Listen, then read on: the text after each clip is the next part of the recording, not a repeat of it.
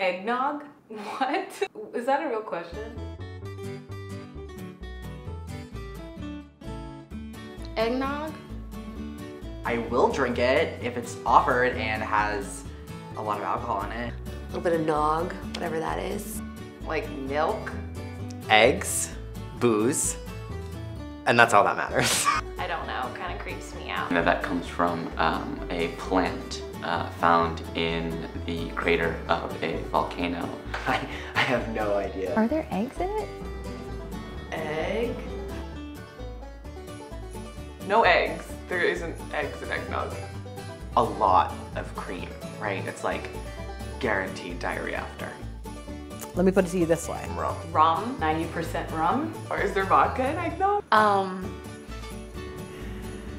You can choose to have it either hot, which is traditional because it was in a hot molten lava sort of capsule, but um, the iced version is actually very nice. Cream and egg. A little like scotch.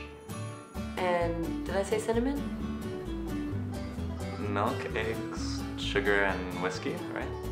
I think it's there's egg yolk in it, and for some reason you can drink it. High fructose corn syrup. Or cream or something. it's probably just better not to know what's in eggnog. I could kill for an eggnog right now. Yeah.